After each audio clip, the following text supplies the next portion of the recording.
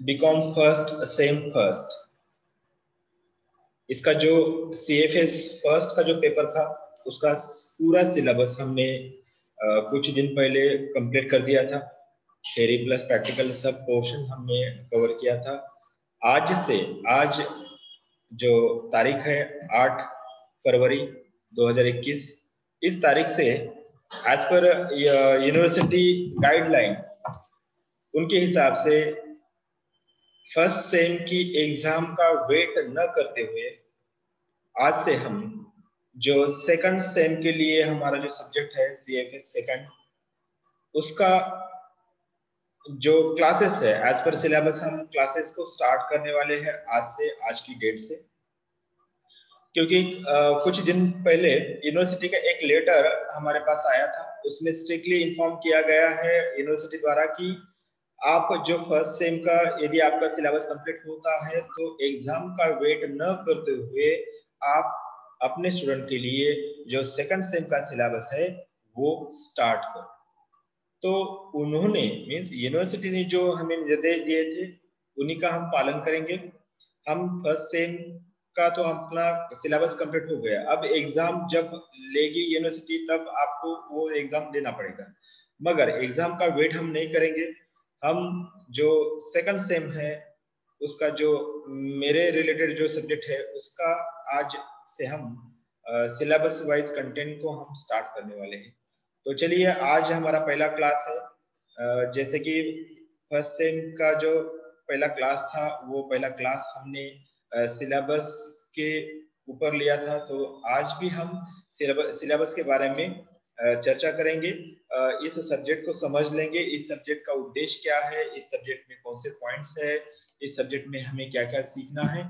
ये सब बातें हम आज डिस्कस करेंगे और कल से अपना जो रेगुलर सेशन जो है वो स्टार्ट करेंगे। तो मैं यहाँ पे स्क्रीन को शेयर कर देता हूँ ताकि आपको वो पता चले कि किस पॉइंट के ऊपर हमें आने वाले लेक्चर्स को कवर करना है, किस यूनिट को कवर करना है।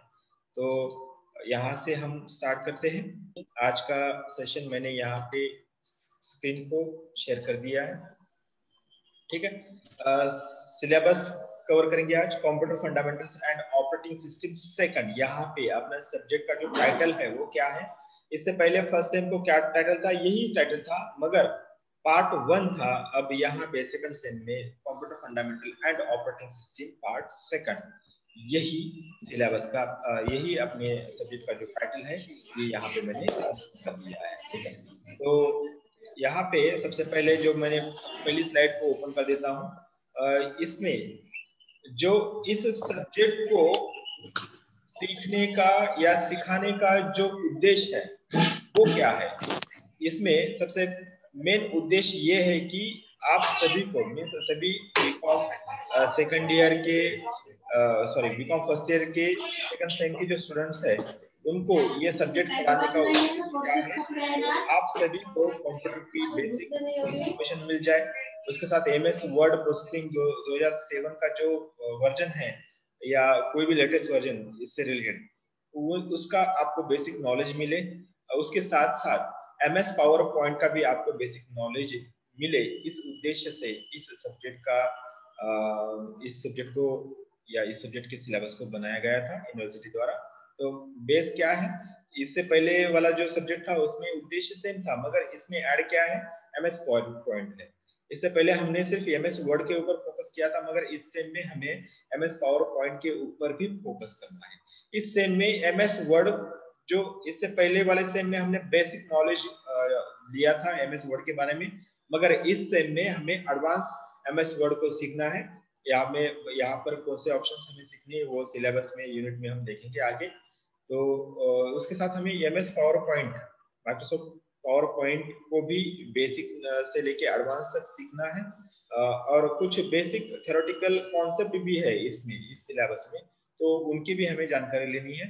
तो आगे, आइए, आगे बढ़ते हैं। नेक्स्ट स्लाइड के ऊपर। एग्ज़ाम का जो सिलेबस है या इसका जो मार्किंग पैटर्न है, वो सेम है। जैसे कि फ़र्स्ट सेम में था 60 प्लस 40 पैटर्न वही पैटर्न इसमें भी है। थेरी मार्क जो है थेरी के जो मार्क्स है, वो 60 है और प्रैक्टिकल के जो मार्क्स है, आपको मिलने वाले हैं, वो फोर्टी मार्क्स है। फोर्टी में से आपको मार्क दिए जाएँगे। थेरी पेपर तो साठ मार्क का होता है, ठीक है? पैटर्न सेम है मार्किंग पैटर्न नेक्स्ट स्लाइड के ऊपर जाएँगे। यहाँ से, यहाँ पे हम बात करेंगे यूनिट नंबर वन जिसका टाइटल है ऑपरेटिंग सिस्टम ओके इस ऑपरेटिंग सिस्टम के पहले यूनिट में हम इसको, इसमें जो कंटेंट्स है, उसको तीन पार्ट्स में डिवाइड करेंगे. ए वाला पार्ट बी और सी यहाँ पे ए बी सी ओके तो ए पार्ट में हमें जस्ट मिनट में यहाँ पे एक ऑप्शन ऑन ऑन कर देता हूँ, ताकि मैं इसको हाईलाइट कर सकूँ. तो ये है ए पार्ट ये बी पार्ट और ये सी पार्ट ठीक है?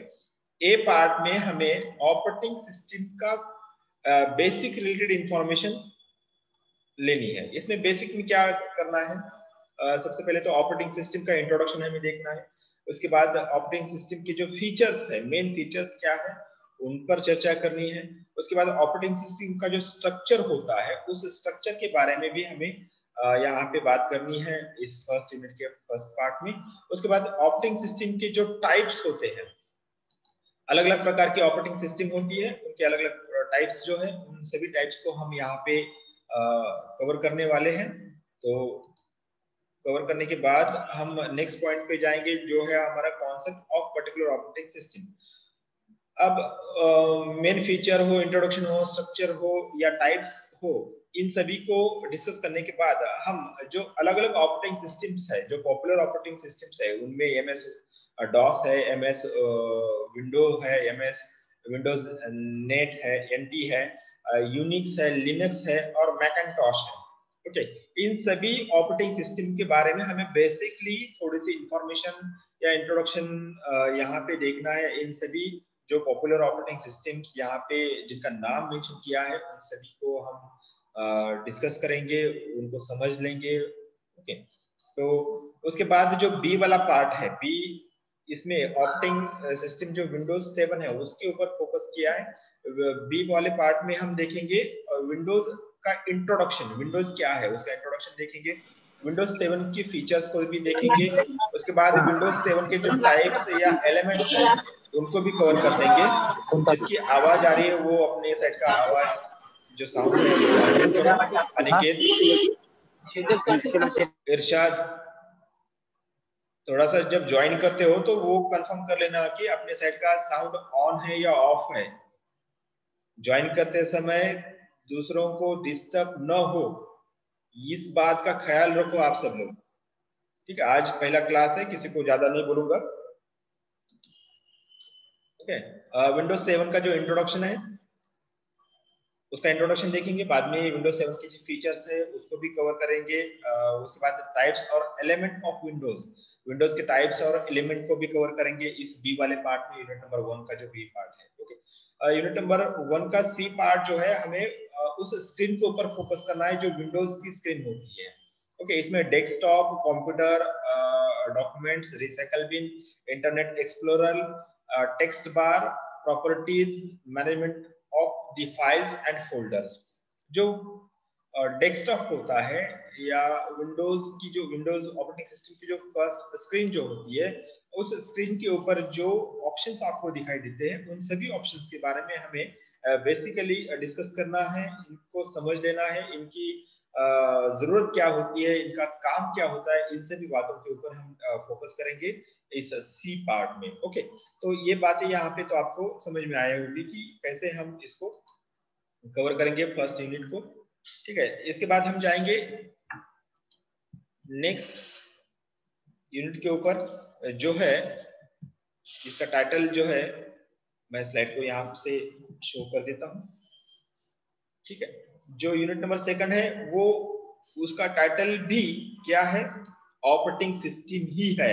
मगर इस टाइटल को एडवांस ऑपरेटिंग सिस्टम कहा जाता है। यूनिट नंबर दो में फ़र्स्ट में तो हम बेसिक लेवल ऑपरेटिंग सिस्टम का जो इंफॉर्मेशन है, जो हम बेसिक लेवल पर कर लेंगे, मगर यूनिट नंबर दो में एडवांस लेवल पर हम ऑपरेटिंग सिस्टम को समझ लेने की कोशिश करेंगे। इसमें यूनिट नंबर दो में भी हमने दो पार्ट्स किए हैं, जिसमें पहला पार्ट जो है वो प्रोग्राम एंड फीचर्स है। Installing and uninstalling various programs and accessories जो किसी भी ऑपरेटिंग सिस्टम जो प्रोग्राम्स होते हैं, जो सॉफ्टवेयर होते हैं जो हम इंस्टॉल करते हैं उनको कैसे इंस्टॉल किया जाता है उनको अनइंस्टॉल कैसे किया जाता है? ओके ड्राइवर्स क्या होते हैं? इन सभी बातों को हम क्या करेंगे? डिस्कस करेंगे और एज अ डेमो हम यहाँ से इसको शो भी करेंगे कि कैसे किसी एक सॉफ्टवेयर को हम इंस्टॉल कर सकते हैं कैसे उसको अनइंस्टॉल कर सकते हैं। ओके तो ये बात होने के बाद हम जाएँगे यूनिट नंबर दो के बी पार्ट के ऊपर जिसमें फ़ंक्शंस ऑफ़ ऑपरेटिंग सिस्टम यहाँ पे जो फ़ंक्शंस ऑफ़ ऑपरेटिंग सिस्टम है, इन इन फ़ंक्शंस को, जो जितने भी ऑपरेटिंग सिस्टम के फ़ंक्शंस है ना, उनको इस यूनिट नंबर दो के बी पार्ट में बहुत ही डिटेल से हमें समझ लेने की कोशिश करनी है। क्योंकि ये यूनिट नंबर दो का जो सेकंड पार्ट है बी वाला पार्ट इसमें आपको डिटेल में फ़ंक्शंस को एक्सप्लेन करने के लिए ये पॉइंट्स यहाँ पे मेंशन किए गए हैं।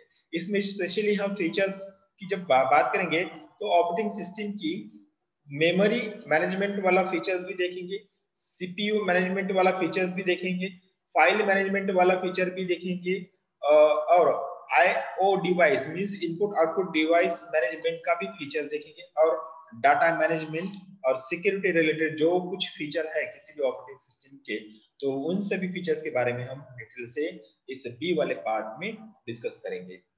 ओके तो बहुत ही डिटेल से इस फ़ंक्शंस को हमें सीखना है, क्योंकि ऑपरेटिंग सिस्टम सबसे इम्पोर्टेंट पार्ट होता है सॉफ्टवेयर में, जिनकी मदद से हम आने या कंप्यूटर सिस्टम में जो काम हमें करना है, वो काम हम कर सकते हैं। तो इससे related operating system related functions को याद करना, उनको समझना बहुत ही इम्पोर्टेंट है। इसी के कारण इस यूनिट नंबर सेकंड में जो बी पार्ट है, ये सेपरेट इसके लिए ही बनाया गया है ठीक है? तो आगे जाएँगे जो यूनिट नंबर तीन है। यूनिट नंबर तीन को यहाँ पे मैं शो कर देता हूँ। यहाँ पे देख लेना यूनिट नंबर तीन की स्लाइड आपके सामने प्रेजेंट हो चुकी है। तो यूनिट नंबर तीन में जिसका टाइटल जो है, वो मैं यहाँ पे जो मार्क किए थे, वो इरेज करता हूँ पहले। ताकि आपको कंफ्यूजन ना हो। ओके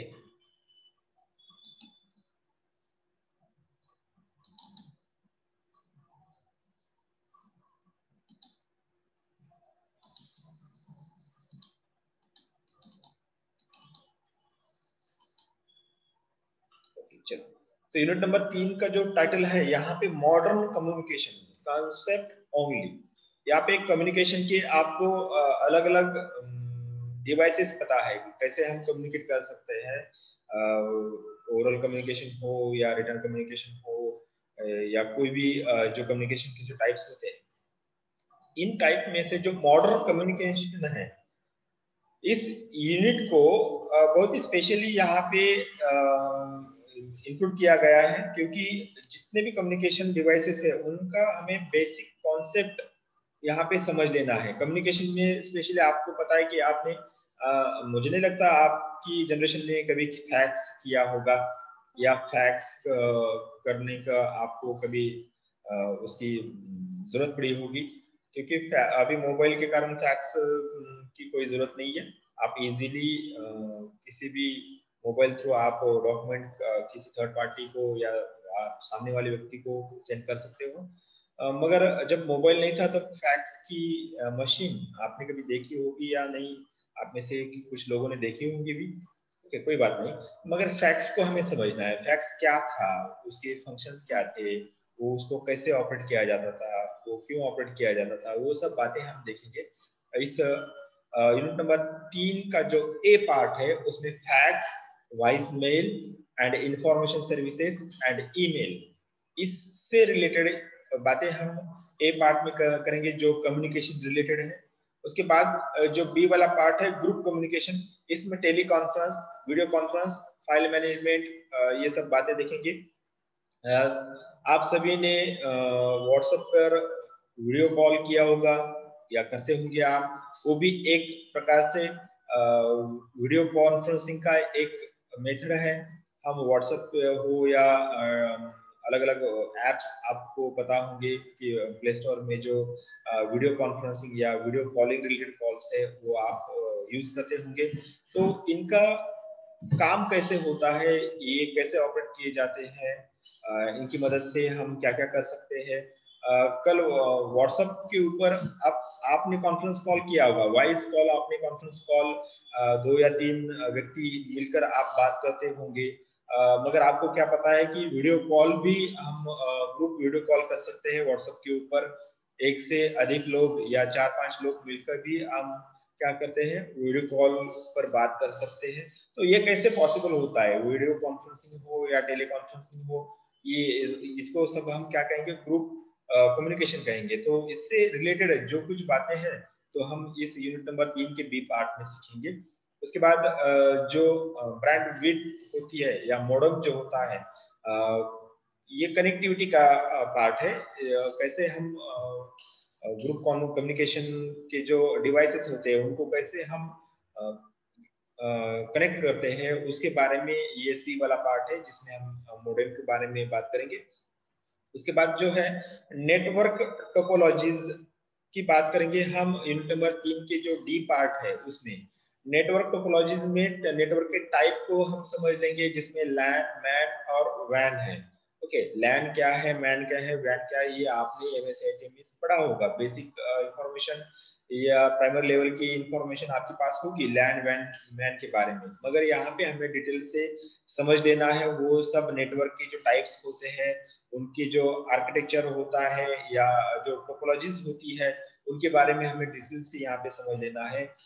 विथ ग्राफ हम यहाँ पे इसको एक्सप्लेन करेंगे एग्जांपल्स लेंगे, बहुत सारे एग्जांपल्स लेंगे ताकि आपको पता चले कि किस प्रकार से नेटवर्क की टोपोलॉजीज होती है आर्किटेक्चर कैसे होता है ये इजीली सिंपल वे से हम इसको कवर करेंगे यूनिट नंबर थ्री का जो डी वाला पार्ट है ओके तो यहाँ पे ये सब बातों को कवर करने के बाद यहाँ पे अपना तीन नंबर का जो यूनिट है, वो कंप्लीट होता है और चार नंबर का जो यूनिट है, जिसमें हम, यहाँ पे यहाँ से मैं शो कर देता हूँ यूनिट नंबर फोर की जो स्लाइड है।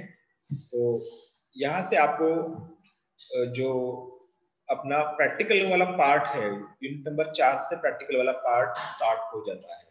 Word processing working with table and graphics first sem को हमने वर्ड का बेसिक नॉलेज हमने कलेक्ट किया था फ़र्स्ट सेम में। मगर सेकंड सेम में यहाँ पे वर्ड का जो एडवांस लेवल जो है, यहाँ पे हमें पढ़ना है यूनिट नंबर फोर में, जिसका टाइटल है word processing working with table and graphics अलग अलग टेबल्स और ग्राफी के माध्यम से कैसे हम वर्ड प्रोसेसिंग को यूज़ कर सकते हैं इसमें कौन से कौन से ऑप्शन है? इन सभी बातों के ऊपर हम फोकस करेंगे यूनिट नंबर फोर के ऊपर। यूनिट नंबर फोर में भी हमने दो पार्ट किए पार्ट ए और पार्ट बी जिसमें पहले वाला पार्ट में वर्किंग विद टेबल्स जिसमें टेबल को क्रिएट करना add row column okay convert table into text ये सभी बातों को हम विद डेमो यहाँ पे समझ लेने की कोशिश करेंगे। उसके बाद जो बी वाला पार्ट है यूजिंग ग्राफिक्स एंड ऑब्जेक्ट इसमें हम क्लिप आर्ट को कैसे एक वर्ड फ़ाइल में इंसर्ट करना है? लिंक्स कैसे इंसर्ट करना है? शेप्स अलग अलग शेप्स जो होते हैं, उन सभी को कैसे इंसर्ट करना है वर्ड फ़ाइल में, वो भी देखेंगे। उसके बाद टेक्स्ट बॉक्स को इंसर्ट कैसे करना है और उसको ऑपरेट कैसे करना है, ये भी देख लेंगे। वर्ड आर्ट आपको पता है कि वर्ड आर्ट कैसे हम इंसर्ट करते हैं वर्ड फ़ाइल में। और उसके साथ ड्रॉप कैप ये ऑप्शन क्या है? इसको कैसे यूज़ किया जाता है? क्यों यूज़ किया जाता है?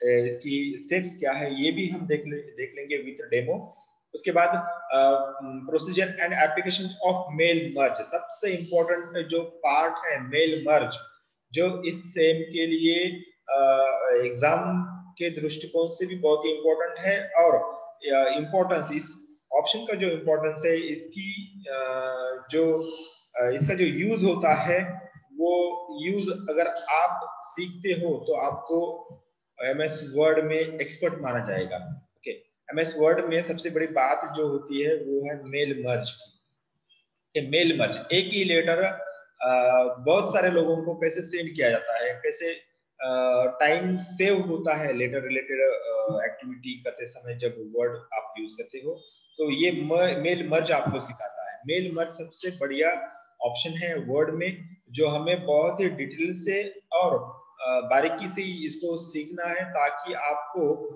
इस लेवल पर, इस ऑप्शन पर आप एक्सपर्ट हो जाओ।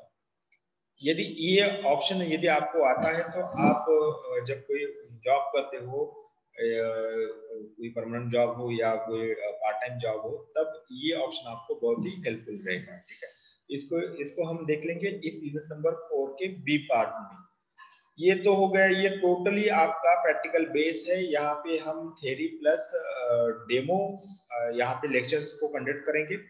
ओके एक साइड से थेरी कवर करेंगे और एक साइड से यहाँ से मैंने, मैं आपको डेमो शो करूँगा इसका ऑनलाइन तो ये तो हो गया यूनिट नंबर फोर के बारे में। अब यूनिट नंबर फाइव जो लास्ट यूनिट है, ये भी टोटली प्रैक्टिकल बेस्ड यूनिट है।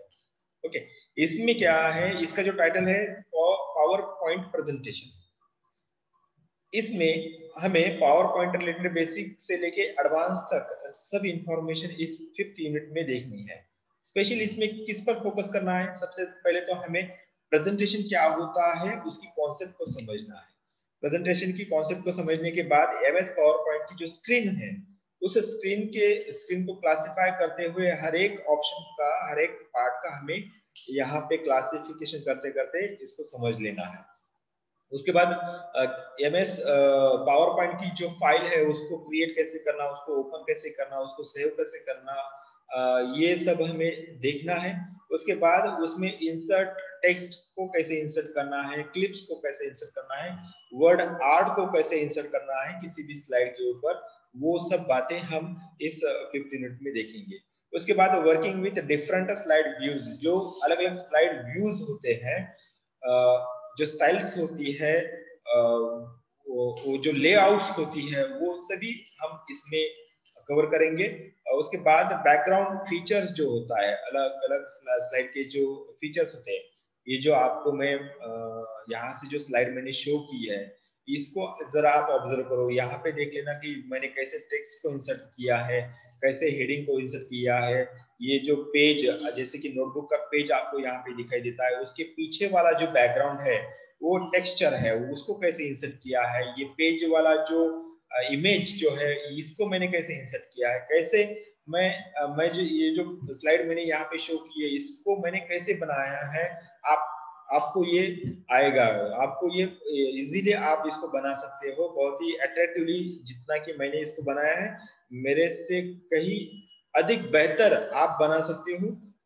अलग अलग फीचर्स अलग अलग टेक्सचर अलग अलग इमेजेस को इंसर्ट करके तो वो सब हम यहाँ पे सीख लेंगे यूनिट नंबर फाइव ओके उसके बाद में gallery colour layout slide effects और स्लाइड शो ये सभी ऑप्शंस को हम डिटेल से देख लेंगे। स्लाइड शो कैसे करनी है। स्लाइड के इफेक्ट्स जो होते हैं, जैसे कि मैंने अभी एक स्लाइड को एक स्लाइड का एक्सप्लेनेशन होने के बाद जब मैं सेकंड स्लाइड को यहाँ से रन कर देता हूँ तो वो सेकंड स्लाइड ओपन या एक्टिव होते समय वो कैसे प्रेजेंट हो रही है, ये आपने अभी देखा होगा। इसको कहेंगे आप स्लाइड इफेक्ट्स तो बहुत सारे स्लाइड इफेक्ट्स है। आप बहुत ही अच्छी तरह से हर एक स्लाइड को बहुत ही अट्रैक्टिवली इफेक्ट्स दे सकते हो। ये सब हम सीखेंगे इस स्लाइड इफ़ेक्ट में। और फाइनली जब अपना सब सिलेबस कवर होगा तो हम प्रिंटिंग रिलेटेड ऑप्शंस को भी कवर करेंगे। प्रिंटिंग को किसी भी स्लाइड की या पीपीटी सॉरी ये जो स्लाइड रिलेटेड जो फ़ाइल होती है, इसको कैसे प्रिंट किया जा सकता है? एक पेज पर दो या चार स्लाइड को कैसे प्रिंट करना है? कैसे पेज सेटअप करना है? ये सब बातें हम फाइनली इस यूनिट नंबर फाइव में कवर करेंगे। यहाँ पे अपना पूरा सिलेबस कंप्लीट हो जाएगा, ठीक है? तो ये सब बातें, ये जो कंटेंट्स है, ये सबसे पहले आपके साथ शेयर होना बहुत ज़रूरी था। इसके लिए मैंने आपको यहाँ पे मेंशन किया है। ये जो है, ये लास्ट एग्ज़ाम पैटर्न था। अब ये एग्ज़ाम पैटर्न तो नहीं है। आपको एग्ज़ाम पैटर्न जो है, वो एमसीक्यू एग्ज़ाम पैटर्न से आपको इस सेम की एग्ज़ाम देनी है। तो यहाँ से मैं इसको स्लाइड शो को ऑफ़ कर देता हूँ। और हम यहाँ पे बेसिक डिस्कशन करेंगे। आपके एग्ज़ाम के पैटर्न रिलेटेड मैं आपको कुछ बातों बातों का यहाँ पे उल्लेख करना चाहूँगा। आपकी जो एग्ज़ाम है वो टोटली एमसीक्यू पैटर्न से होगी। आपको 40 क्वेश्चंस मिलेंगे। 40 प्रश्न होंगे उस पेपर में। 40 में से आपको थर्टी क्वेश्चंस को सॉल्व करना है। थर्टी क्वेश्चंस चाल, चालीस में से कोई भी तीस क्वेश्चंस आपको सॉल्व करने हैं। अब ये सॉल्व होने के बाद आपकी जो मार्किंग जो है, आपका अब सी एफ़ एस का जो पेपर है, वो ऑलरेडी सिक्सटी मार्क्स का है। तो जितने आप, आपके तीस क्वेश्चन में से जितने करेक्ट आंसर होंगे, उसके दो गुना मार्क्स आपको मिलेंगे। मान लो कि तीस क्वेश्चन है, आपने बीस क्वेश्चन को तीस क्वेश्चन छुड़ाए, मगर आपने, आपके बीस क्वेश्चन करेक्ट है। बीस क्वेश्चन करेक्ट होने के कारण आपको वहाँ पे चालीस मार्क्स मिलेंगे, क्योंकि एक क्वेश्चन को दो मार्क्स है। तो 40 मार्क मिलेंगे तो आपको थ्योरी में 40 मार्क मिलेंगे और प्रैक्टिकल जो 40 मार्क है उसमें से जो कुछ मार्क्स आपको अलॉट होंगे, उन दोनों को जोड़ के ये 100 मार्क 100 मार्क्स आपको अलॉट किए जाएँगे। तो एमसीक्यू पैटर्न से एग्ज़ाम देते समय मैंने आपको डिस्कस किया था, पहले सेम के जो क्लासेस थे उनको कनेक्ट कर, करते समय कि कैसे उसको सॉल्व करना है कैसे एमसीक्यू को पढ़ना है कैसे रॉन्ग ऑप्शंस को पहले डिटेक्ट करना है और बाद में कैसे करेक्ट आंसर को आइडेंटिफाई करना है ये सभी बातें हमने डिस्कस की थी। आ, कोई बात नहीं है हमारे पास और भी टाइम है हम प्रैक्टिस करेंगे उन एमसीक्यू क्वेश्चंस की। आ, मैं आपके लिए एक डेमो क्वेश्चन पेपर बनाऊँगा ऑनलाइन जिसको आप इजीली उसका, उसकी प्रैक्टिस कर सकते हो और क्वेश्चन सॉल्व कर सकते हो। ठीक है? अब इस सिलेबस इस सेकंड सेम का जो सिलेबस है या इससे रिलेटेड कोई प्रश्न है? एग्ज़ाम रिलेटेड या सिलेबस रिलेटेड कोई आपके मन में डाउट है, प्रश्न है तो आप मुझसे पूछ सकते हो। अब अब इससे आगे का जो टाइम है, वो सबके लिए ओपन है। कोई भी किसी को कुछ प्रॉब्लम है क्वेरी है तो पूछ सकता है अपने साइड का जो साउंड है, उसको अनम्यूट करो और मेरे साथ आप कम्युनिकेट कर सकते हो।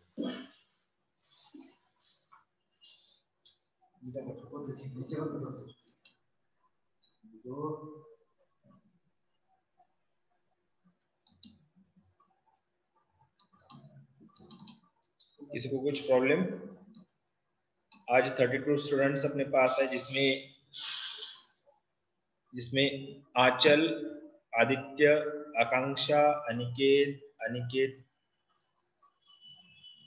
अनिशा, भारती, चेतन, दीक्षा, दीपाली, गणेश, इरशाद, कल्याणी, कोमल, मीनल, मोनाली, नलू, नाजिया, प्रगति, प्रतीक्षा प्रिया, रिद्धि, रोहिणी, साक्षी साक्षी, लांबट, साक्षी खैरे, समीक्षा समीक्षा दुमोरे, सारिका,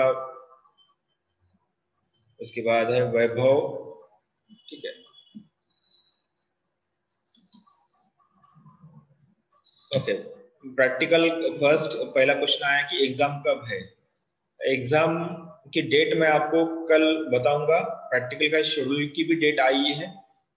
और एग्ज़ाम की भी डेट प्राइमरी लेवल पर जो डेट यूनिवर्सिटी में यूनिवर्सिटी ने जो लेटर में की गई है वो डेट जो है मैं आपको कल बताऊँगा। क्योंकि एग्जैक्ट वो लेटर जो है, वो ऑफ़िस में है, मैं उसको देखूँगा। मैं वो देखने के बाद आपको कल इन्फॉर्म करूँगा डेट के बारे में, ठीक है? और प्रैक्टिकल कब सबमिट करना है तो उसके लिए भी मैं इससे रिलेटेड एक नोटिस आपके व्हाट्सएप के ग्रुप पर सेंड करूँगा।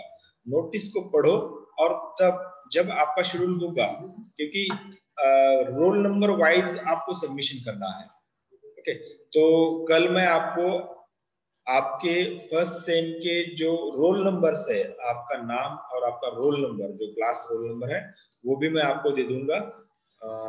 नेक्स्ट क्वेश्चन रोहिणी बोलती कि एग्ज़ाम ऑनलाइन है या ऑफलाइन हाँ तो एग्ज़ाम के बारे में ये आपको डिसाइड करना है कि ऑनलाइन देना है या ऑफलाइन देना है। ओके ऐसे यूनिवर्सिटी ने मेंशन किया है। मगर इसमें कुछ चेंजेस हो हो जाएगा कि यूनिवर्सिटी का, क्योंकि बेसिक लेवल पे जो हमें इंफॉर्मेशन मिली थी, वो ये थी कि ऑनलाइन या ऑफलाइन दोनों में से कोई भी। मगर इसमें चेंजेस हो सकता है। आपको ऑफलाइन ही देनी पड़ सकती है, क्योंकि पंद्रह तारीख से कॉलेज स्टार्ट होने वाला है, बराबर है? तो अभी भी उसके लिए कुछ अथोराइज लेटर नहीं मिला है। पंद्रह तारीख के बाद आप फिजिकली कॉलेज में आ सकते हो। अगर फिजिकली कॉलेज में आना स्टार्ट करोगे, तब आपको एग्ज़ाम जो है, वो ऑफलाइन ही देने पड़ेगी, ठीक है? तो ऑनलाइन है या ऑफलाइन है, इसके लिए अभी कुछ डिसाइडेड प्लान नहीं है।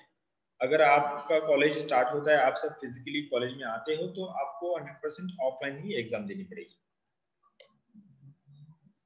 और कुछ क्वेश्चन चलिए, जिसको कोई, जिसके मन में कोई क्वेरी है, प्रश्न है तो आप चैट बॉक्स में टाइप करके सेंड कर सकते हो। मैं यहाँ से आपको उन क्वेश्चंस का आंसर दे दूँगा।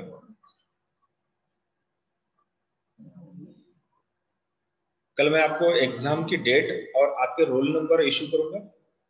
एग्ज़ाम की डेट जो है वो कल मैं बताऊँगा आपको क्लास में ही।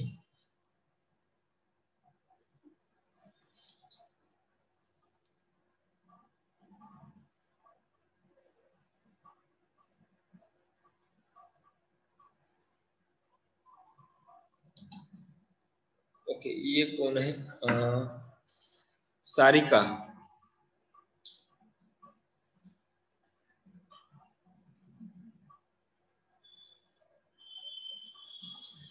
ओके सारिका, जो आपने क्वेश्चन किया है उससे रिलेटेड मैं यहाँ पे कुछ बात नहीं करूँगा।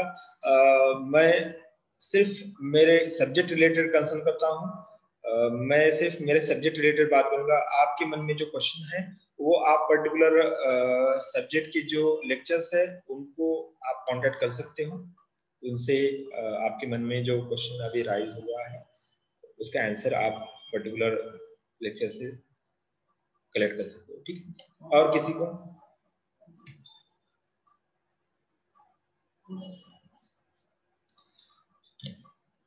क्योंकि ये कोरोना के कारण जो यूनिवर्सिटी का जो शेड्यूल होता है एकेडमिक ईयर जो होता है, उसमें बहुत मिसमैच हो चुका है। तो उस, उसको मैच करने के लिए, उसको पूर्व स्थिति पर लाने के लिए यूनिवर्सिटी ने इस समय, उसका ये डिसीज़न है कि फ़र्स्ट सेम सेकंड सेम जो सिलेबस है, वो जल्द से जल्द कवर करो। एग्ज़ाम का जो शेड्यूल है, वो बाद में हम देखेंगे।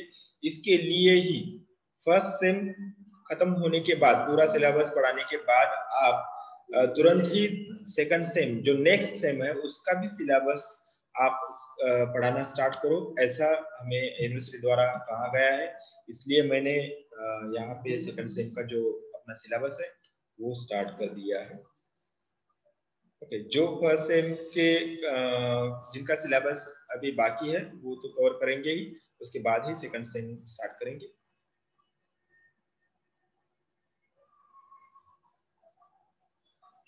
किसी को कुछ और पूछना है, बोलना है तो आप बोल सकते हो, अपने पास टाइम है अभी भी।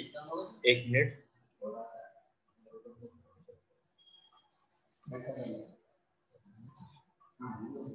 जब मैं आपको कल रोल नंबर इशू करूँगा ना तो आप जूम ऐप को जब आपने, जहाँ पे आपका नाम आपने टाइप किया है, उससे पहले आप अपना रोल नंबर भी लिख देना। मान लो कि अब इसका जो ये है साक्षी का समझो कि रोल नंबर एटी ना, एटी फाइव है, तब साक्षी क्या करेगी? सबसे पहले एटी फाइव नंबर टाइप करेगी और उसके बाद खुद का नाम टाइप करेगी। और उसके बाद ही जूम मीटिंग में इंटर होगी, ठीक है? जैसे कि आंचल का आंचल का अगर रोल नंबर वन है तो आंचल क्या करेगी? सबसे पहले एक रोल नंबर टाइप करेगी, उसके बाद उसका नाम टाइप करेगी और उसके बाद जूम मीटिंग में इंटर होगी। तो सब सब लोग ये एडिट करो अपने अपने नाम को अपने अपने रोल नंबर के हिसाब से, ठीक है? मैं व्हाट्सएप ग्रुप के ऊपर आज का सिलेबस और जो आपका ये है रोल नंबर वो भी सेंड कर दूँगा। ओके चलिए फिर एक मिनट से भी कम टाइम बचा है। किसी के मन में कोई क्वेश्चन नहीं है।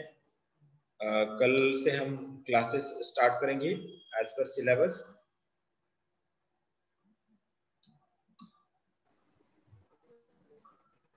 प्रीता में कुछ बोलना है?